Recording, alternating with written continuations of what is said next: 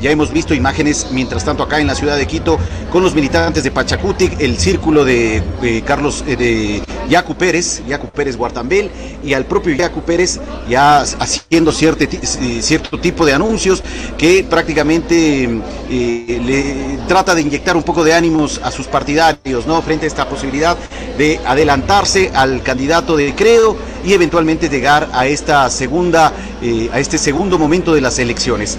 Hay que esperar señor Vela, y esperar madurez política en nuestro país.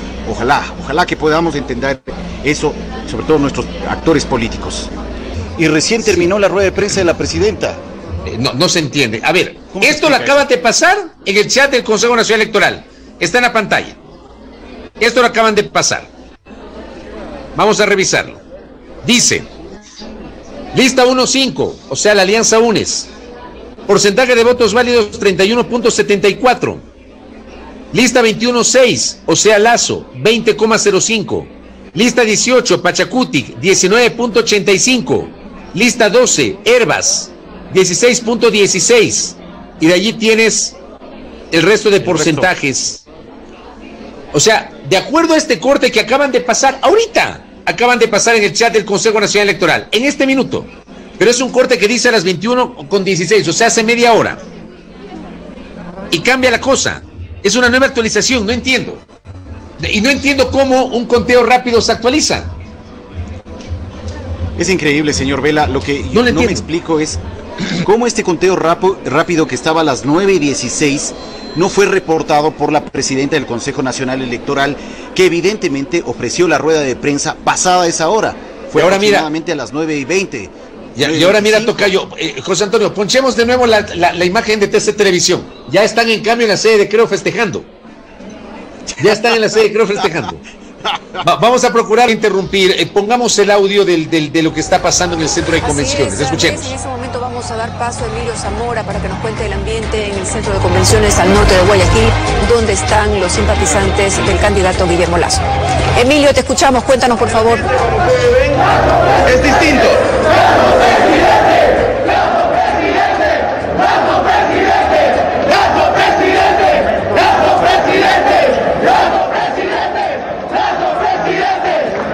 Conocemos además que el candidato Guillermo Lazo se encuentra en la parte de abajo del centro de convenciones. Es lo que nos han dicho aquí y estamos a la expectativa de, finalmente ver en qué terminan estas, estos resultados.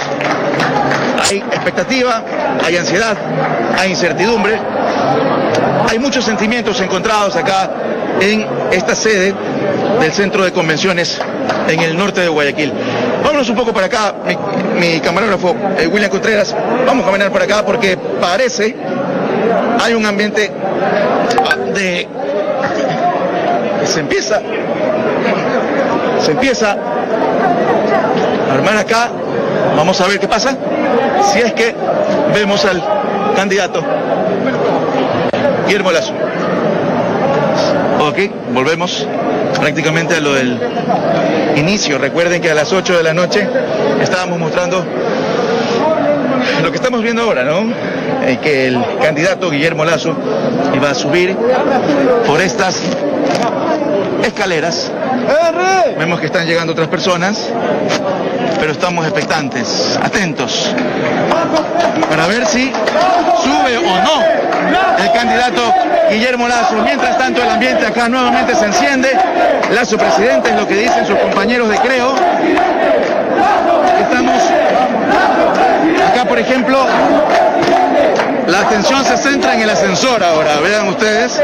¡Vamos, Guillermo Lazo, y decía, incertidumbre, ánimos por momento, ansiedad, hay de todo acá. Seguimos en vivo, ¿no? Seguimos en vivo, muy bien.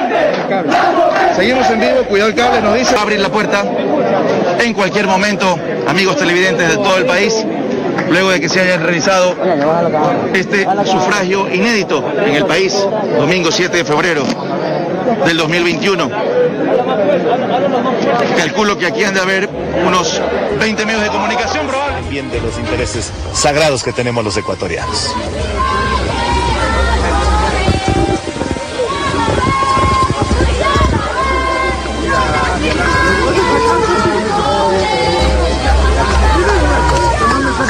Lo estoy observando. Candidato Guillermo Lazo ingresa aquí al salón de los presidentes en medio, en medio de un gran tumulto en medios de comunicación y sus coidearios. Está llegando el candidato a la presidencia por la alianza, creo, y el Partido Social Cristiano. Es realmente impresionante el ambiente que se registra aquí. Vamos a estar pendientes además de la rueda de prensa que se va a dar en los próximos minutos. Mucho cuidado con el camarógrafo, que no nos aplasten. Vamos a ir a la sala, al salón de los presidentes en muy pocos minutos para conocer las primeras declaraciones del candidato Guillermo Lazo. Sus coidearios dicen segunda vuelta y por acá se complica el escenario. Candidato, como presidente.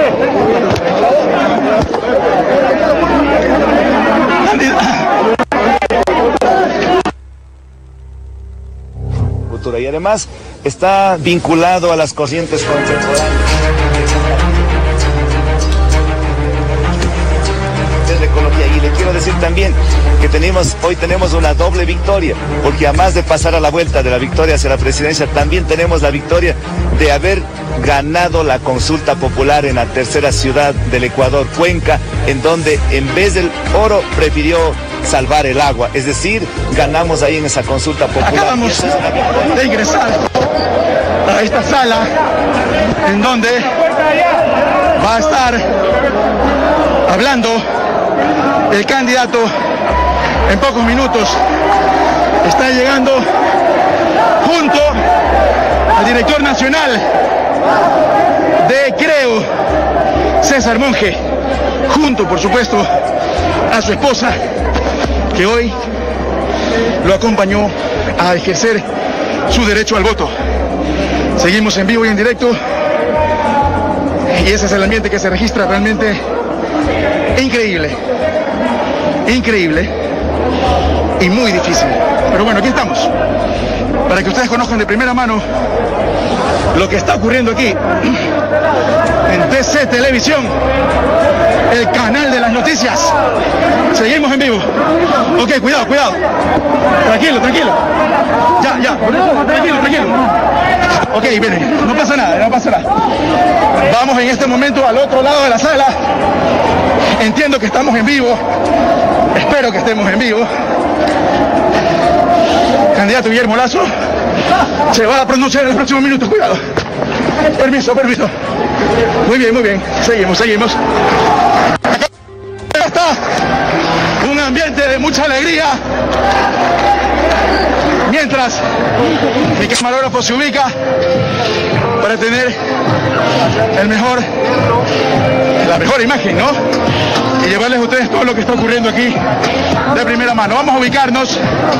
Acá en cambio el ambiente es diferente, de mucha alegría y se empiezan a tejer los detalles, empiezan a conocerse cómo van a, van a organizar estas primeras declaraciones. Nos vamos a ubicar, nos vamos a ubicar. Ok. Bien. ¿Qué tal? Imagino que en este momento sigo en vivo.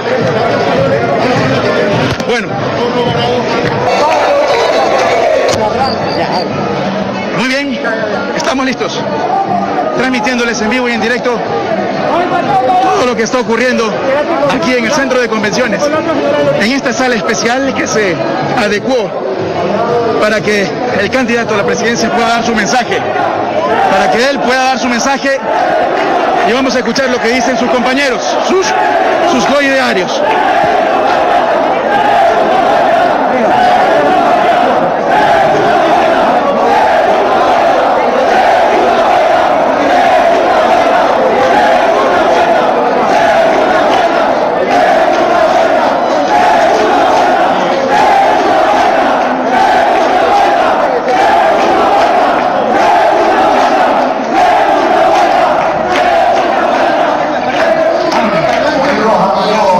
Bien, empezamos con las declaraciones del candidato. Vamos a escucharlo. No podía terminar este día sin dirigir unas palabras a todos los presentes y al pueblo ecuatoriano. En primer lugar, una felicitación al pueblo ecuatoriano que hoy masivamente acudió a las urnas en una actitud ejemplar, una actitud de civismo ejemplar, una actitud patriótica que asumiendo riesgos por la pandemia que todos sufrimos, hayan asistido como lo han hecho a las mesas a depositar su voto. En segundo lugar, mi felicitación al pueblo ecuatoriano, quien por más del 65%, equivalente a las dos terceras partes de los ecuatorianos, le han dicho no al modelo totalitario y populista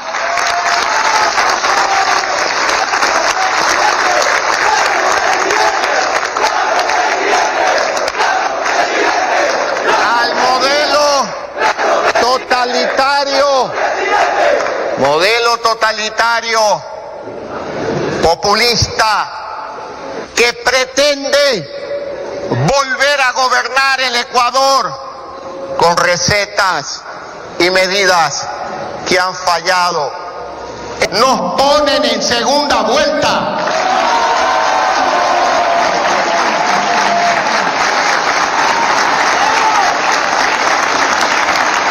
Por otro lado, todos ustedes pueden consultar la página web del Consejo Nacional Electoral y ven que el conteo de las actas una por una hasta el momento confirma que estamos en segunda vuelta.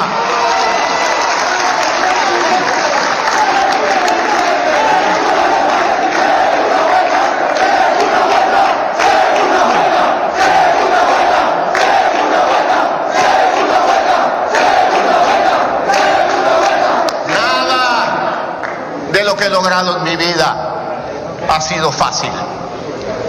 Todo lo que he logrado en mi vida ha requerido lucha, entereza y decisión.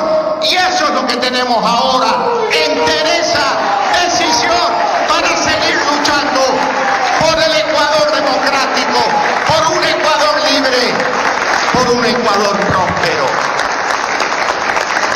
Y vamos a ver la gráfica, ahí está. Ahí lo tenemos. Eh, Andrés Arauz con el 32,95%, Jaco Pérez con el 19,48%, como Está lo en dijiste. segundo lugar, sí. Le- Guillermo Lazo va en tercer puesto con 19,30%. Javier Herbas de la Izquierda Democrática 15,23%. Recordamos, estos son de- datos reales con el 8,20 8,07% ingresado. Ahora tenemos los datos de Isidro Romero con el 2,16% y Lucio Gutiérrez con el 2,14%. Le sigue en la lista de este eh, conteo ya real ingreso de actas válidas Pedro Freile 1,96%, Gerson Almeida 1,73%. Seguimos con Jimena Peña Peña eh, con el 1,68% y con Juan Fernando Velasco con el 0,84%. Sigue en la lista de los 16 candidatos presidenciales con el 807% escrutado, Guillermo Celi de Suma 0,82%, César Montúfar 0,58%. Ahora tenemos a Gustavo Larrea con el 0,37% y tenemos también a Carlos Añay con el 0,33%. Y los últimos lugares de esta lista con el 807 escrutado, Paul Carrasco 0,21% y Giovanni Andrade con el 0,20%. Estamos a la espera, estamos a la espera de que se pronuncien los candidatos. Cuando tengamos a los candidatos eh, ya... eh, Gracias, Rocío. La novedad es que acá, a pesar de que no todo está dicho todavía en cuanto al resultado de estas elecciones, por acá los integrantes del movimiento Pachacuti, algunos simpatizantes del candidato a presidente Yacu Pérez, están celebrando ya, como si hubiese pasado directamente a la segunda vuelta. Ellos eh, lo han declarado un triunfo. Por acá está también otro de los candidatos, Bruno Segovia, está por este sector. Él es candidato a asambleísta provincial. Ya vamos a tratar de conversar con él para que nos cuente un poquito esta celebración, esta algarabía que hay por aquí en este sector de la calle Juan Montalvo, muy cerca al CNE provincial Azuay. Estamos muy cerca del CNE, ahí vemos que está la policía con su contingente para evitar que las personas avancen un poco más, pero en todo caso esta es la celebración que se está realizando por acá. Por aquí me acompaña el candidato asambleísta provincial Bruno Segovia. ¿Cómo le va? Buenos días. Ustedes están ya celebrando un triunfo. No, no, para nada. Estamos esperando los resultados oficiales, estamos sin triunfalismo, estamos exigiendo transparencia y respeto a la voluntad popular. El conteo rápido CNE nos ha dicho que estamos en segunda vuelta, esta es la expresión de la voluntad del pueblo y la gente está feliz festejando la voluntad y la decisión del pueblo. El CNE ha mencionado que posiblemente hay un empate técnico.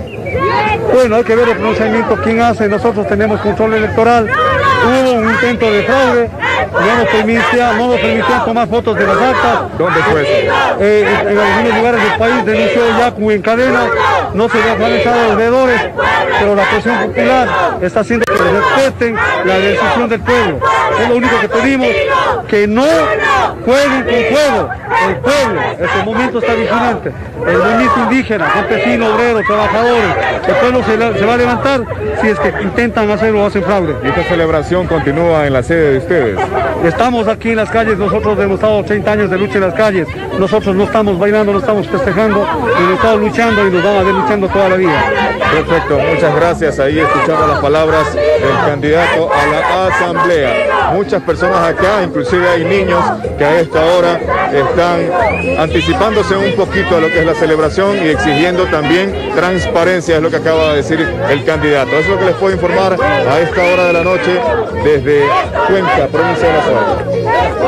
Gracias, Stalin. Una buena noche para ti desde Cuenca. Es natural que ambos lados, tanto la bancada de Yacu Pérez como la de Creo, se sientan ganadores por el estrecho margen, evidentemente. Definitivamente. Recuerden, queridos amigos, que también se pueden informar en nuestro micrositio www.tctelevisión.com slash. Escasa diferencia de centésimas, menos de un punto porcentual, la diferencia entre Yacu Pérez y Guillermo Lazo Mendoza. Por favor, repitamos estas cifras para que las personas tengan claro cómo está hasta el momento este proceso de escrutinio de las actas. Esta es la información oficial, escrutinio oficial del Consejo Nacional Electoral. El sitio web del Consejo Nacional Electoral, al que ustedes también, amigos televidentes, pueden tener acceso como el aplicativo y que lo resumimos con esta actualización. Ajá. El segundo lugar, Yacu Pérez con 19.97% de los votos que suman 354.669 votos a su favor, Ajá. y Guillermo Lazo Mendoza con el 19.29% de los votos con 342.660 votos otorgados a su candidatura. Decimos menos de un punto porcentual, el 26% de actas escrutadas. Muy la bien. cuarta parte de la totalidad de los votos y de las personas que fueron a sufragar en este domingo 7 de febrero y es la atención que debe tomarse en este proceso, porque esta tendencia podría variar por centésimas a lo largo del proceso, por un punto, por dos puntos, según vaya sosteniéndose hasta que termine finalmente el escrutinio total, el 100% de las actas. Rocío. Así es, Andrés, estamos atentos a estas cifras cuando ha sido escrutado ya el 26% de las actas eh, electorales, ¿no? Aquí tenemos, repitamos la cifra, Yacu Pérez 19.97%, Guillermo Lazo 19.29%. Qué interesante, el, el, el empate técnico persiste. Persiste, persiste, a medida que siguen ingresando uh -huh. las actas. 26% a medida que siguen ingresando las actas. Y algo clave que también el vocal del Consejo Nacional Electoral, Enrique Pita, mencionó, es que una vez terminado la recepción de las actas de cada una de las juntas receptoras del voto al Centro Nacional de Cómputo, tendrán que revisarse las que sean apeladas o sean impugnadas, para lo cual posterior a ello habría una proclamación oficial de resultados. Por tanto, estos porcentajes que estamos viendo y que varían minuto a minuto, hora tras hora, eh, podrían tener otra tendencia, evidentemente, previo a la proclamación oficial del Consejo Nacional Electoral. Nosotros vamos a estar pendientes de, de, estos resultados. Definitivamente los ciudadanos se han manifestado en las urnas y aquí están los resultados, ¿no? Son datos que distan en gran medida uh -huh. a los publicados por las encuestadoras, calificadas también por el Consejo Nacional Electoral.